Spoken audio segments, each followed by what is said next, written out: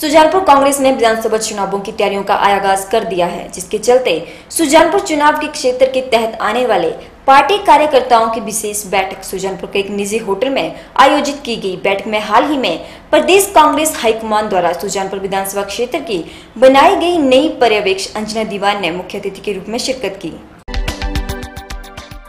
सुजानपुर कांग्रेस ने विधानसभा चुनावों की तैयारियों का आगाज़ कर दिया है, जिसके चलते सुजानपुर चुनाव क्षेत्र के तहत आने वाली पार्टी कार्यकर्ताओं की विशेष बैठक मंगलवार को सुजानपुर के एक निजी होटल में आयोजित की गई। बैठक में हाल ही में प्रदेश कांग्रेस हाईकमान द्वारा सुजानपुर विधानसभा क्षेत्र की बनाई गई नई पर्यवेक्षक अंजना दीवान ने मुख्य अतिथि के रूप में शिरकत की। कार्यक्रम की अध्यक्षता सुजानपुर विधायक राजेंद्र राणा एवं विधानसभा क्षेत्र के ब्लॉक के दोनों अध्यक्षों मनीष गुप्ता एवं सुशील पठानी द्वारा की गई कार्यक्रम में हाल ही में प्रदेश कांग्रेस हाईकमान द्वारा सोशल मीडिया आईटी सेल के प्रमुख बनाए गए अभिषेक राणा भी विशेष रूप से उपस्थित रहे। इससे पहले यहाँ पहुँचे मुख्य अतिथियों का विधानसभा क्षेत्र के कांग्रेसी कार्यकर्ताओं ने गर्म जोशी के साथ स्वागत किया। अपने भाषण के दौरान विधायक राजेंद्र राणा ने विधानसभा क्षेत्र के कार्यकर्ताओं से आने वाले विधानसभा चुनावों और उससे पहले आने वाले पंचायती राज चुनावों को लेकर फ़ील्ड में जाकर कार्य करने का आह्वान किया। उन्होंने कहा कि पंचायत के चुनाव सर्वसम्मति के साथ संपन्न करवाएँगे। पंचायत के ऐसे व्यक्ति को मैदान में उतारे जो पंचायत के विकास कार्यों को करवाने में रुचि दिखाए और किसी भी पंचायत में ऐसा ना हो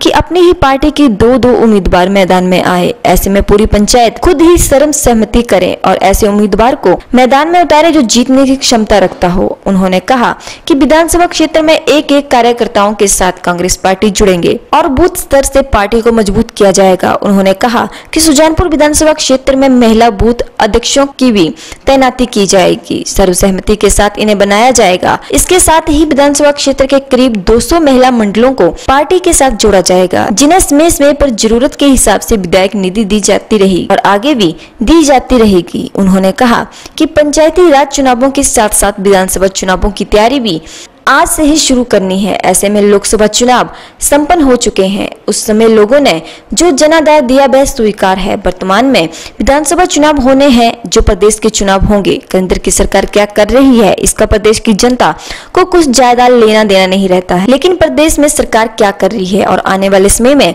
सरकार क्या करेगी? इस बात की जानकारी रखना पूरे प्रदेश वासियों का दायित्व है। पूर्व में जब कांग्रेस सरकार थी तो उसमें प्रदेश के मुख्यमंत्री राजा वीरभद्र सिंह थे तो सुजानपुर विधानसभा क्षेत्र में अरबों रुपए विकास कार्य पर खर्च किए गए। इसकी पाई पाई का हिसाब अगर भाजपा सरकार लेना चाहती है तो एक किताब छपवा कर उन्हें दे दी जाएगी। और वर्तमान में भाजपा सरकार क्या कार्य कर रही है और सुजानपुर विधानसभा क्षेत्र में अब तक उन्होंने क्या किया है, इसका भी हिसाब दे दिया जाएगा। उन्होंने कहा कि 2022 में हिमाचल में कांग्रेस सरकार बनेगी और सुजानपुर विधानसभा क्षेत्र एक बार फिर से विकास की नई गाथा लिखेगा। ऐसे में पार्टी कार्यकर्ता जो पार्टी की रीढ़ की हड्डी होते हैं, वे मैदान में उतरकर पार्टी को मज़बूत करने और जो पार्टी कार्यकर्ता यहाँ से बहा हुए हैं, उन्हें फिर से पार्टी में जोड़ने का काम करें। इस मौके पर विधायक द्वारा यहाँ पहुँची पर्यवेक्षक को शॉल, टोपी पहनाकर सम्मानित किया गया। इस मौके पर विधानसभा क्षेत्र के सैकड़ों कार्यकर्ता, महिला शक्ति युवा कार्यकर्ता मौजूद रहे।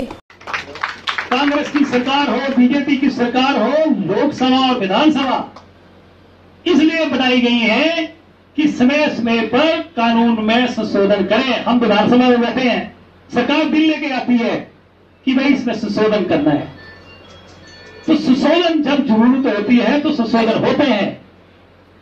पहले जब ज़रूरत थी, तीन सौ सत्तर की लगाई गई उसमें, पैंतीस ये लगाई गई। आज ज़रूरत नहीं है तो सरकार हटा रही तो हटनी चाहिए बजट की मांग है आज जितने कानून उन्नीस में संविधान बना है, उसमें समय समय पर संशोधन किया गया है।